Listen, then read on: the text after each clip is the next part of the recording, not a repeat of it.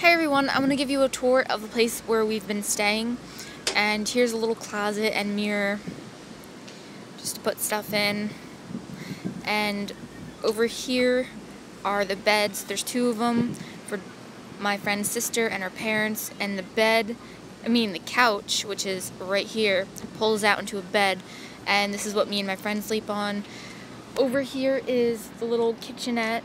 And in the fridge, I got my tomato sauce and my tomato soup. And over here is my rice maker and NutriBullet. And that's the kitchenette. Then if you come through here, it's a little bathroom. It's actually not that little. It's pretty nice. And there's a little table. There's also one from the kitchenette. And then this is pretty much the best part, the view on the porch. There's a really nice breeze up here, and if you look down over this ledge, you'll see that there's a pool at this hotel. Well, that's pretty much it, so remember to eat enough and eat the right stuff.